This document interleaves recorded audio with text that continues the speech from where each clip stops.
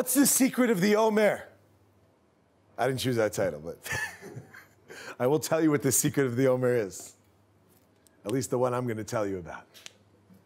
The Omer itself, what are we doing? What's the Omer?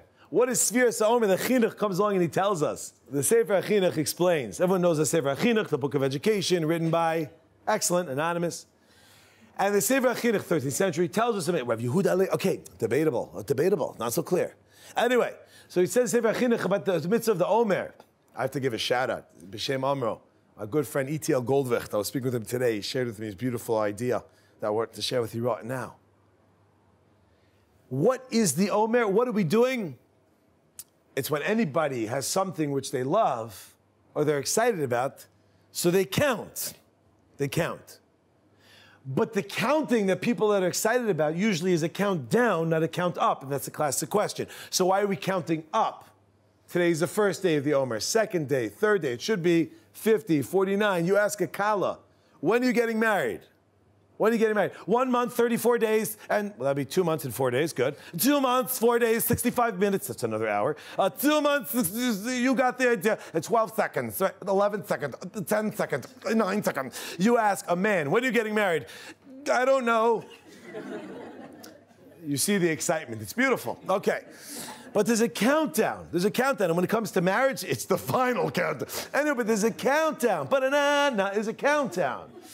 And this countdown, so why are we counting up what's going on? So what's the Omer? What is the Omer? What is the Omer? We're saying seriously, Omer. You know, Omer is a measurement. There's another time in the Torah we find Omer. That's found by what? By the mun. Omer le Golgolis. It's got to be a certain measurement. The mun. The manna that felleth and from from heaveneth. When the manna fell down from the heaven, mm, when that manna fell, others known as the mun, this is an Omer Gulgol. What was this? What, what's the shaychus? What's the connection? And the question the Gemara asks already is so why is it that Hashem, by the mun, why did he give the mun every day? Why not like a month's supply or two months' supply? Now, I don't know people's backgrounds here, so forgive me. I really, I, you know, I'm not being facetious. In all serious now, I, I just, was that the right word again? No? Okay. Uh, I, I, don't want to, God forbid, bring up memories that people have had in their lives if it's something which was negative of sorts. I'm going to speculate, and if I'm wrong, I'm wrong. I'm going to hope I'm right. I hope I'm right that most of us in this room, or at least many of us in this room, grew up in a home which was either somewhat well to do or at least got by. Perhaps there's some that didn't. And for those who didn't, you'll understand a lot more than I will. Thank God I was very, very lucky with how I was raised in terms of having, there was always food. I was never, it was never like, God forbid, wake up and it's empty. But what about when a person wakes up and they look in their home and there is nothing there? There's absolutely nothing there. That's very difficult. How do you live with that? How do you function? But it's never, it's nothing's there. It's very, very hard. And then you wake up the next morning and you hear a knock on the door and you're like, kids, the old knock and run game. And you open up the door and there's nobody there, but there's food there. And there's enough food exactly for your family for that day. This is not a chiddush. This is just perhaps a perspective that I think when we learn about the mun or anytime we talk about the Torah, we don't really, really think about what it was.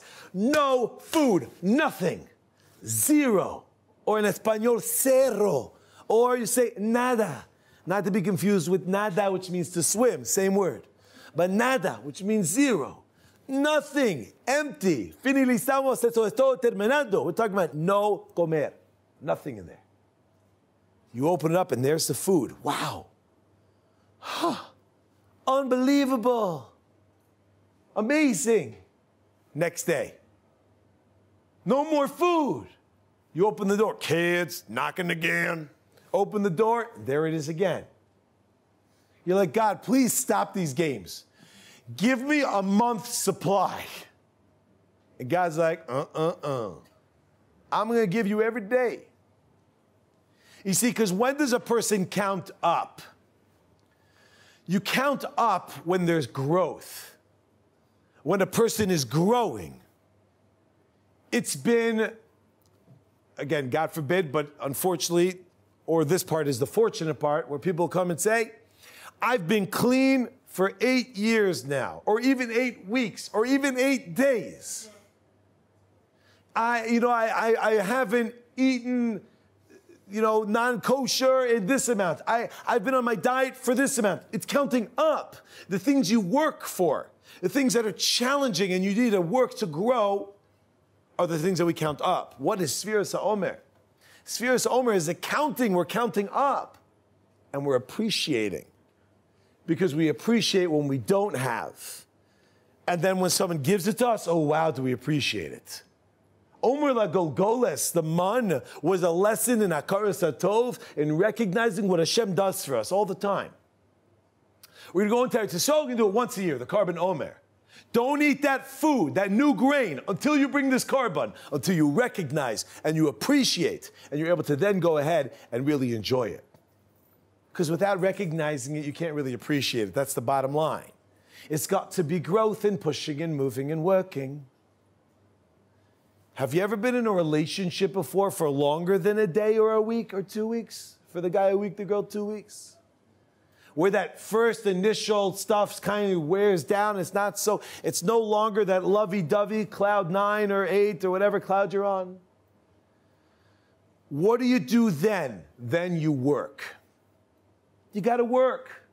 We have to be counting up and we have to be working towards it and putting into it.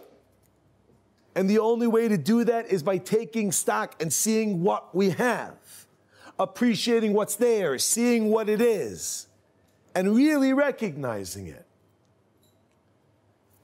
Someone will correct me, okay? I just remember hearing a Shalom Bayis discussion that there was a Shalom Bayis Vad where they were saying that Rav Chaim Shmulevitz used to write down every day. Correct me if you heard this. Correct me. But I, I heard. I remember hearing ten, and here's the chiddush: new, excuse the pun, but ten new things that he appreciated about his wife every day. Now that's hard for me to understand. Okay? Not because I don't appreciate my wife. It's hard for me to say 10 new things every day. Like, what does that mean, 10 new things? I mean, there's only so many words in the dictionary. They say, what, what do you come out? Like, you just start going from the A, you know what I'm saying? Uh, my wife is A, right? What, what, do you go through, right? But we go, we go through and really appreciate. we really appreciate. Sit down and you got to work for it. In the beginning, it's easy. Everything's right there because the relationship is wonderful. Everything's wild. Everything's incredible. Everything's it's on fire. But what happens as things go on? Life sets in, and if we don't take time to take stock to see what it is and we don't work on it, we don't start counting up, we don't start taking step by step, then forget about it.